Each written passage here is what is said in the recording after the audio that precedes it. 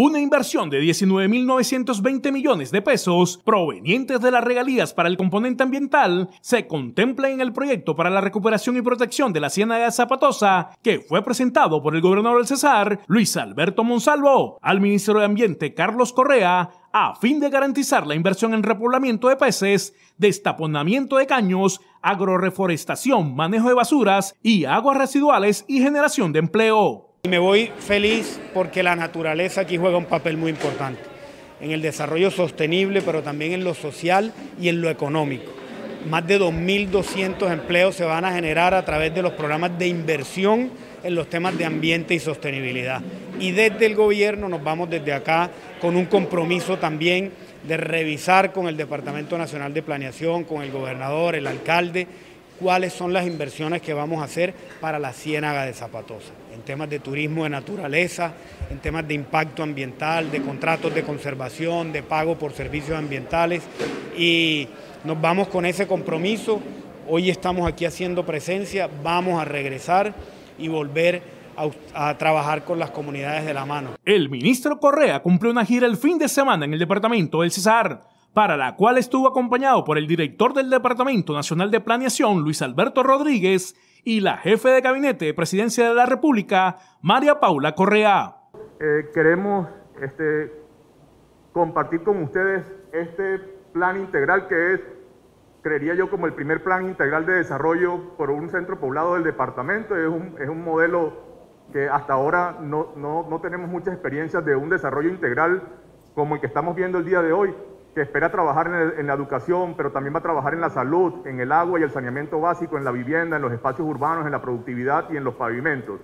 Y esperamos invertir eh, cerca de 25.800 millones de pesos en estas, en estas iniciativas para los próximos años. Es así como Luis Alberto Monsalvo, gobernador del Cesar, presentó un plan de rehabilitación y protección de este importante recurso hídrico afectado por la deforestación, vertimiento de aguas residuales, basuras, sedimentación y extinción de especies, entre otros factores. Esa, esa fue una recomendación que nos, nos propuso el ministro y que nosotros asumimos con compromiso de poder eh, avanzar en, formación y en, que, en, unos espacios eh, en el que podamos invitar a, las nuevas generaciones especialmente para explicarles eh, en qué consiste todo el proceso de poder este, pues alimentar las, plántulas y que podamos este, apostarle a los, a los proyectos ambientales que ustedes saben es parte de los, de los compromisos 1A que tenemos y bueno, en esa línea eh, nos vamos a, mover, vamos a, abrir acá mismo una, una, aula de formación al aire libre para que a través de la Secretaría eh, de Ambiente convoquemos a los colegios eh,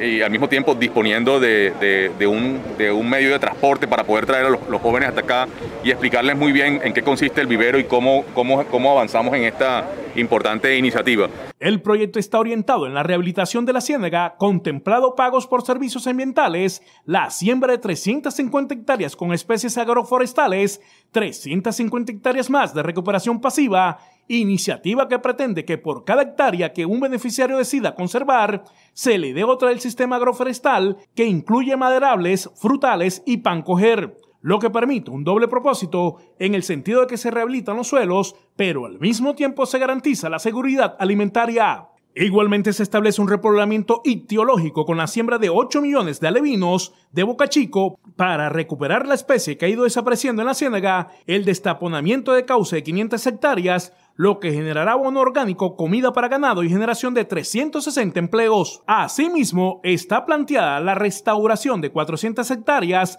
la instalación de dos plantas de aprovechamiento de los residuos sólidos que generan los corregimientos alrededor de la ciénaga para que sean procesados y recuperados en un 95%.